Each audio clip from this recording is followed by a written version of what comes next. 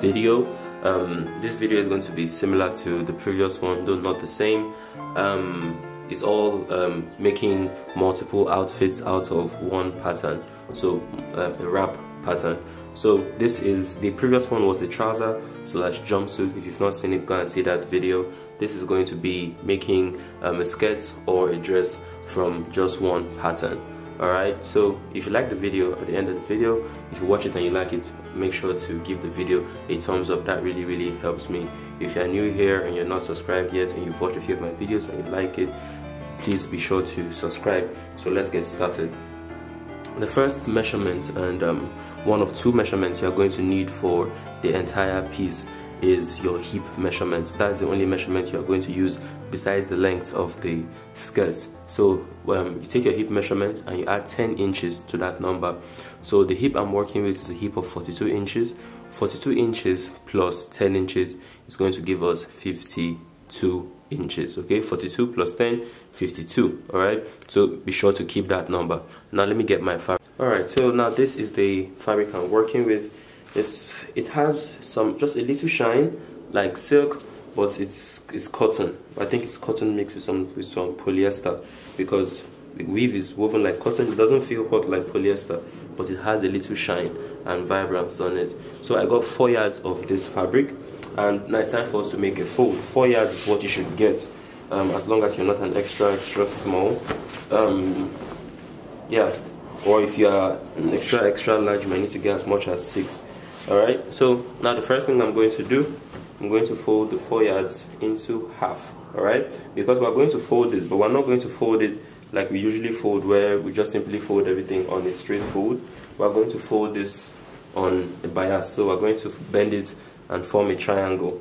But first thing I want you to do is to simply fold it in half and lay it on your table. Alright?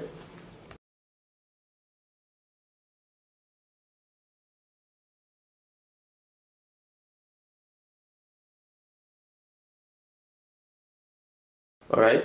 And after you have done this the next thing I want you to do is I want you to pick up one of the ends. So this is the fold this is the edge that you can see here. Now this is four yards. So if you fold four yards in half you have two yards on each side of the fold. So I'm going to simply pick up one end. So you can see this one side of the fold just simply pick up one end where you have you know the both sides of the um, fold showing. And then I want you to simply collapse it like I'm doing. So you see, we're making some sort of triangle as the top, all right? So I want you to fold it like so and arrange it on your table, okay?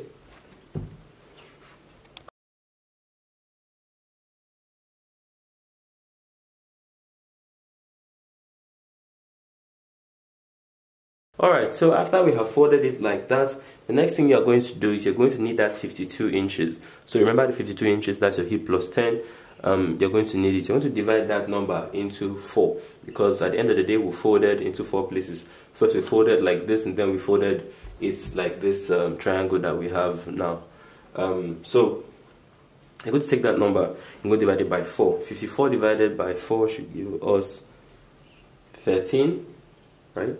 Going to cross check. Alright, yes, 13. So what you're going to do, you're going to simply look for the part of your fabric that will give you 13 okay? So you start from the top from the very top here and you start coming down. And once you hit a space that can give you 13 you stop and you're going to make a line here all right so that's the first part. That's the top part the waist part. And now i'm going to cut around there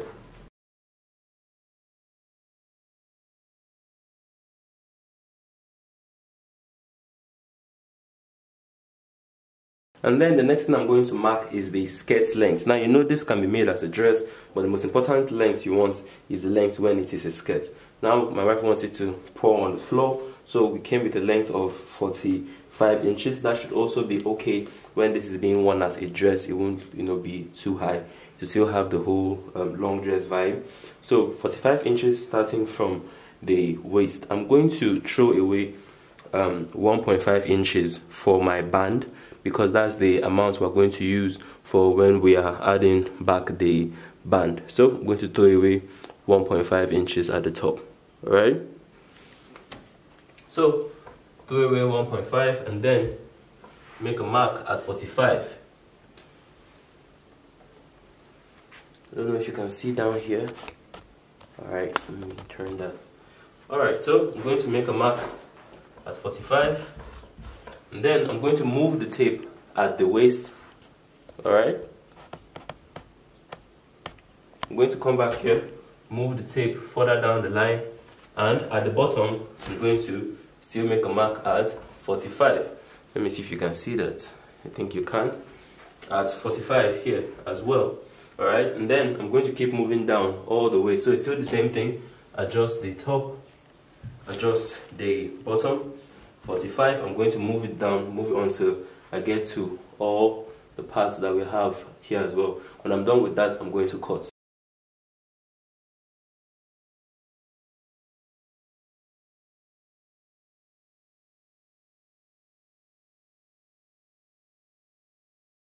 Alright, so after we've cut it, this is the this is the whole thing, right?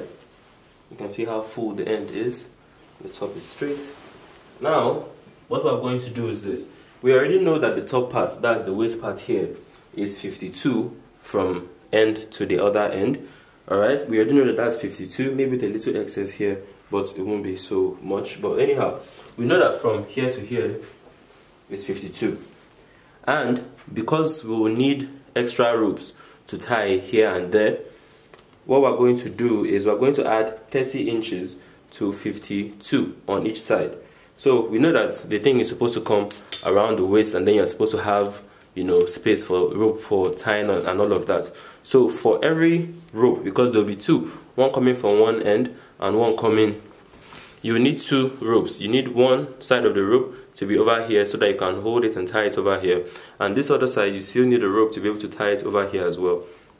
So that means we need 30 inches on the left 30 inches on the right. So 30 plus 30 is equals to 60 60 plus 52 that's from the top part of the waist okay 52 uh, 50 plus, um, 60 is 110 plus 2 so that is 112 so you're going to need to cut a long piece of fabric at 112 by 5 inches alright? So I'm going to cut it but you see me on the sewing machine but cut a long piece of fabric that is 112 inches long and it's just 5 inches um, wide.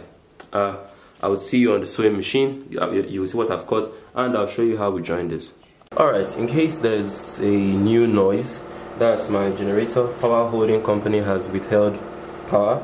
Um, so uh, I've cut the rope but before we attach it I want you to take the skirt. So the waist part of it and then fold it in half and make a notch so that you know where the middle is alright and then I'm going to lay that down.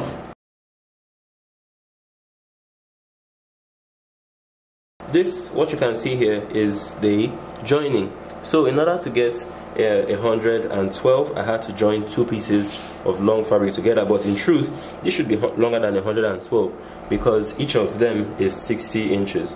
Alright so that's like um, about uh, roughly 120 my fabric was by 60 so I just marked 5 and then cut it down so I have at least 120 in length instead of 112 but you should have at least 60 inches on both sides. I hope you get the gist. So next thing I'm going to do I'm going to take this joining which is the middle and align it with this notch that we made here. Alright? Then I'm going to look for the beginning.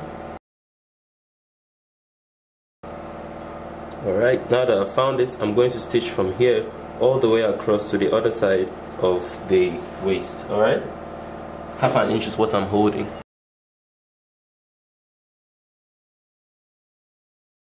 Now, one more thing, before I start stitching, if you notice I have not hemmed the edge that I have over here. If you don't have like a finished edge, like I do on uh, both sides, if you don't have a finished edge on edge on both sides, please make sure to hem this part here before you attach the band, okay? But I want to have this edge here, so I'm going to go ahead and leave it. But if you want to finish it off, you can finish it off before this step, alright?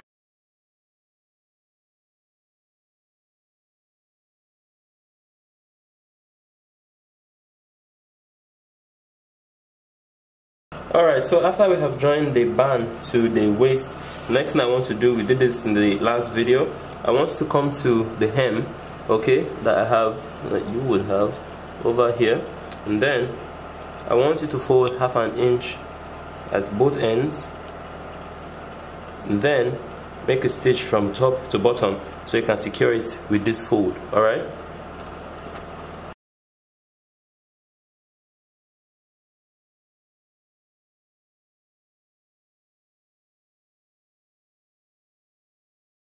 Alright so after stitching across here you can see that I went ahead to simply iron the fold all the way down. Um, so what we're going to do we're going to simply flip this here to the correct side and then we're going to stitch from here all the way down to the end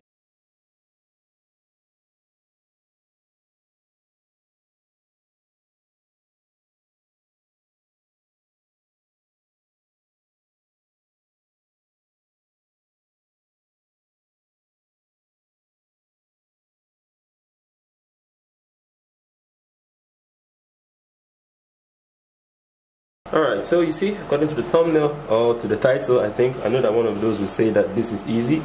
But yeah, this is literally easy. I'm basically done. Um, next thing is just how to tie it.